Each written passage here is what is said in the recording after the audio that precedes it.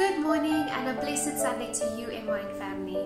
I hope October has been filled with love, prosperity, and an overflow of blessings.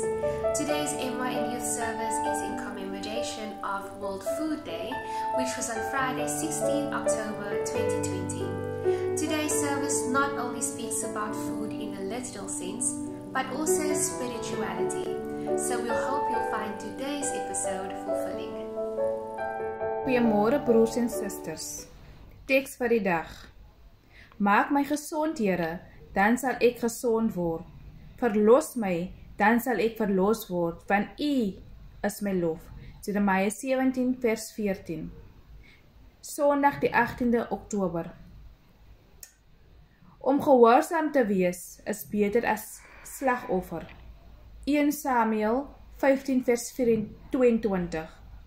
Die leerteks Paulus skryf: "Julle gehoorsaamheid het algemeen bekend geword, daarom verbly ek my oor julle." Romeine 16 vers 19. Die gesang: O Vader, wil tog by ons staan, slaan ons ellende gade, dat ons ons pad end uit kan gaan. Opreg in woord en dade, verlig ons deur u helder woord sodat in hierdie donker oord geen dwalig ons verlei nie.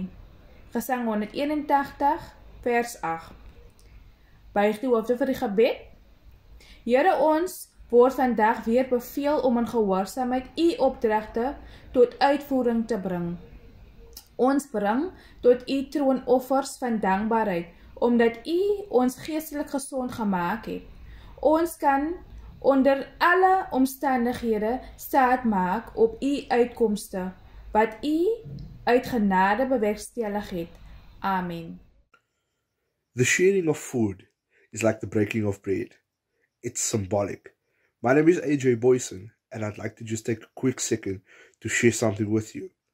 You see, with the statement I've just made, we think of a couple of things when it comes to the breaking of bread. We think of Jesus, the 12 disciples, as well as the Last Supper. And that's a symbolic thing in the Christian faith. Now, for many of you out there listening to this right now, you're pretty much guaranteed of your next meal. You see, you can go home today or this evening and you know where your next meal is coming from. But you see, for many people out there, they do not know where their next meal is coming from. But I'm here to tell you that you can be part of the solution by sharing the little you have. You see, many people out there who do not know where their next meal is coming from. They are trusting God. They are praying that He come through for them. And what a privilege and an honor it must be to be a part of that solution. You see, I've had the privilege to work with many people out there. People who have both have have had many and those who have next to nothing or nothing at all. And what a privilege and an honor it has been to be a part of somebody's answered prayer, somebody's breakthrough, somebody's, you know, um, blessing. You know, to share something with him, something as normal to you and I as food, is something absolutely great for them. So here's my challenge to you go out there and share the little you have because you have no idea what impact you will make in somebody else's life.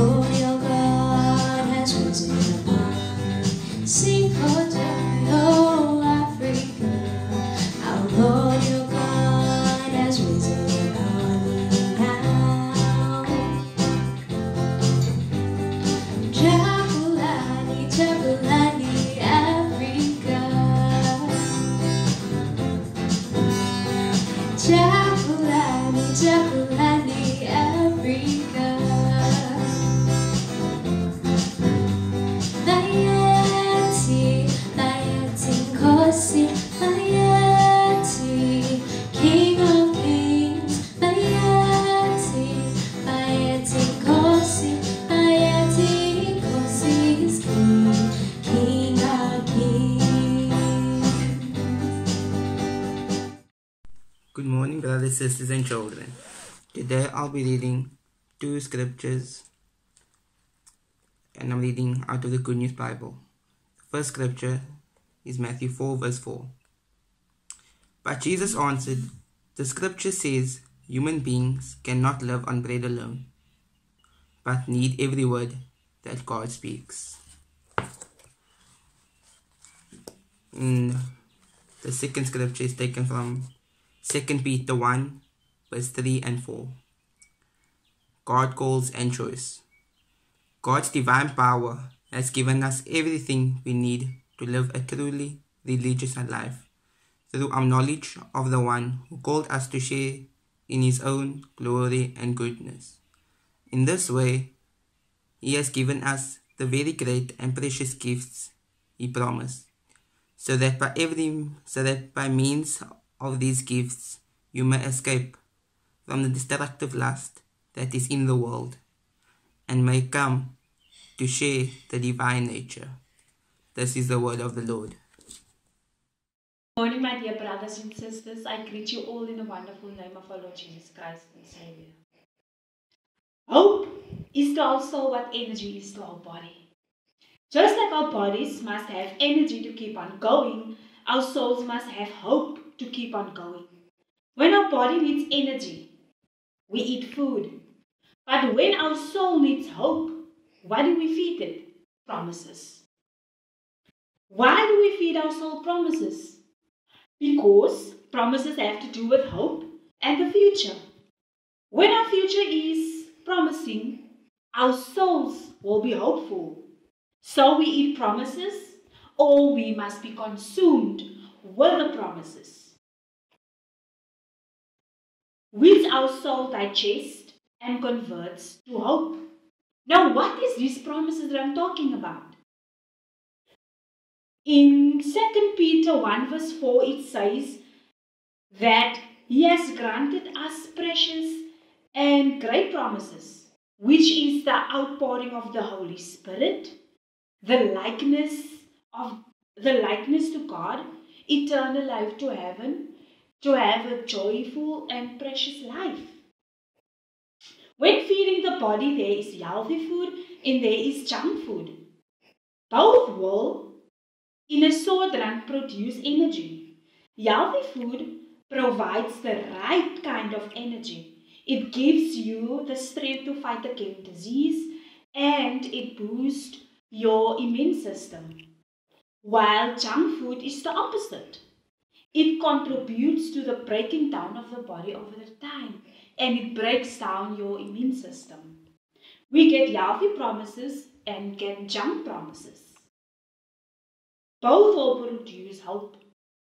Healthy promises provide the right kind of hope and it promotes health throughout the, throughout the complexities of the human soul. Junk promises prove ultimately toxic and lead to soul death. Both physical and spiritual nutrition are important. We must take care, though, in what we eat or what we feed our soul. We look at junk food, they are heavily marked, they are attractive, they are packed attractively, tasty, convenient, and somewhat cheap, and so is temptation. It draws you near. We get so easy consumed by junk food because it has no discipline, it has no plan of making real food. Healthy food, on the other hand, are very expensive. It needs discipline. And it might be that it doesn't look so attractive. The texture must be not so attractive. So it is with the Word of God, it takes discipline. It takes a while to get to know it. But in the end, you will enjoy it because it might not seem to be enjoyable. Now we look at the living food in Matthew 4, verse 4. It says, Man does not live by bread alone, but by every word that comes from the mouth of the Lord. Our souls are designed to be nourished by, God, by God's precious and great promises. These promises are not mere human words, they are loving and active. It is a proceeding, it is proceeding directly from the word of Jesus Christ. In all, it says that we must be consumed by, by the word of God. And we must be consumed by the Holy Spirit. We must be hungry for the word of God. Amen. May God bless you. Fill me up, Lord, till I overflow with your love. Keep my heart aglow. Fill me up, Lord, till I burst inside with your power. Help me to abide. Fill me up, Lord, till I burst all out with your peace. Let me of my doubt. Fill me up, Lord, till I gush and spew with your grace. Restore and renew. Fill me up, Lord, till I overspill with your love. Let me have my fill. Morning, dear members of the Moravian Youth of South Africa and all our viewers. I greet you in the name of Jesus, our Lord and Liberator. Tianibulisa nonke egameni lika Yesu Kristu. Amen. Masitandaze, let us pray. God of the sun and of the moon, God of the stars, the rivers, the deserts, the mountains, the oceans, and the planets in the space. When we behold the magnitude of your creation, we stand in awe and ask, What is it with you that you, in your might and power, are mindful of us as sinful human beings? We thank you for the gift of light and sunshine, and that the sunshine warms our bodies and our souls. Thank you that you grant us everything at the right time, and we are indeed grateful. But while we are in life, we are also aware of all the challenges faced by so many people in our country and in our world. And we thank you for the initiative taken by our youth in the Moravian Church and are grateful as we know the great impact Medusa has had on the lives of so many throughout the church and in the country. We uphold especially the young people living in prayer at the foot of Africa, as all of us Africans are bound to Mother Africa by invisible but tenacious bonds. Africa has nurtured the deepest things in us, and all of us have roots that go deep in the warm soil of Africa. So, no matter how long and traumatic our separation from our ancestral home has been, there are things which we often are unable to articulate, but which we feel in our bones, things which make us who are different from others who have not suckled the breasts of our mother Africa. Many characteristics of our music, our religion, and we cannot deny that most of us have had an identical history of exploitation to colonialism. These have caused great inequalities in our country and continent, and these inequalities resulted in homelessness and hunger. With COVID 19, these atrocities have surfaced more than ever before. And we thank you that we could commemorate World Homeless Day last Sunday so that we as a collective need to focus more on eradicating economic injustice and the gross inequalities. We as the Church of Jesus Christ need to recommit ourselves more than ever before to understand why these inequalities exist and to provide opportunities to get involved. As the chorus says, brighten the corner where you are. Today we uphold in prayer all those who have a feeling of helplessness and hopelessness, and pray, dear God, that through your Spirit you will inspire all those who have given up on life. We pray for all the young people from broken homes. We pray, dear God, for all young people who have no vision, all young people who are caught up in drug abuse. We call upon all those, dear Lord, in authority to assist, to ensure that all our youth will have a place in the sun. We also uphold those in prayer, dear God, while going through physical, mental, and sexual abuse, our youth and our children and our women, and pray, dear God, that we as a collective could also work together to er- eradicate all the ills caused by abuse. Dear Lord, today is your Sabbath day, and it gives us new opportunities to serve you, new hope, new vision. And therefore, dear God, we pray that this service may be an inspiration and a blessing to everyone watching, and that your will be done in our lives.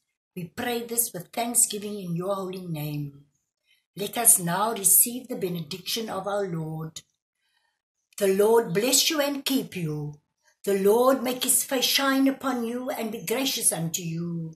The Lord lift up his countenance upon you and grant you his eternal peace now and forevermore. Amen. Thank you for coming together in fellowship with us. May we continue to do and say what is pleasing to God, and may we remember to consume His word daily. Love, light, and healing.